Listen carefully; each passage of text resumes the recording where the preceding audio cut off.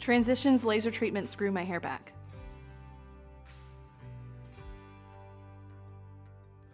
I noticed a lot of hair loss after the birth of my second child, and in the years following that, I just it was I wasn't getting any of it back. I was losing more.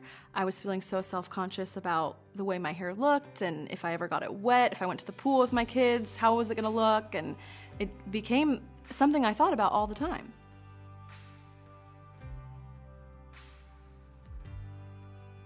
I knew that I could have some postpartum hair loss and I knew that I could lose my hair, but it never seemed to grow back the way it had. And I had talked to my doctor and they had run some tests and my, my health was fine, so I had just reason to believe that it was probably hereditary.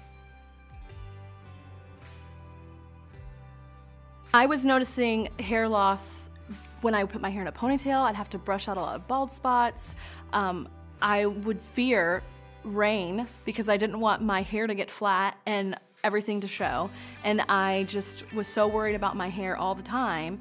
And I was still so young, I didn't want to live the rest of my life like that. I was thinking I was just going to have to live with it, live with thin hair, and live with just feeling self conscious about it all the time.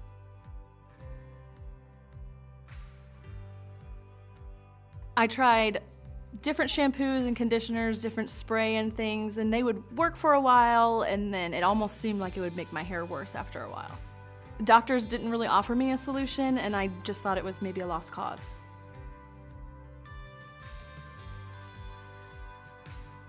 My dad, Kevin Freeman, is on WFMS, and he was getting great results from his procedure. And I thought, you know, I probably can't afford that, or maybe it's not for me.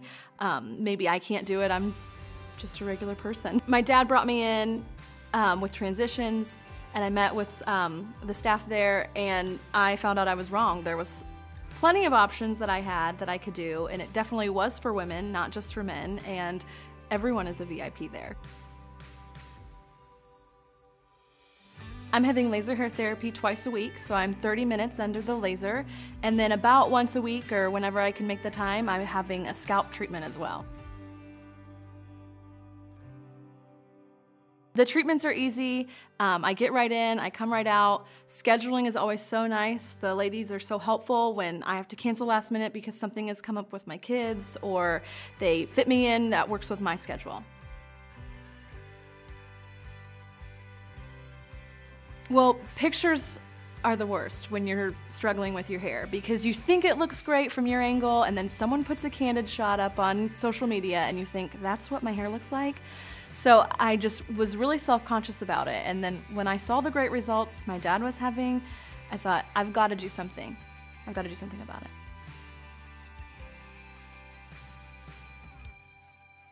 I'm so excited about my results, and I'm so excited to see what my results will be in the future.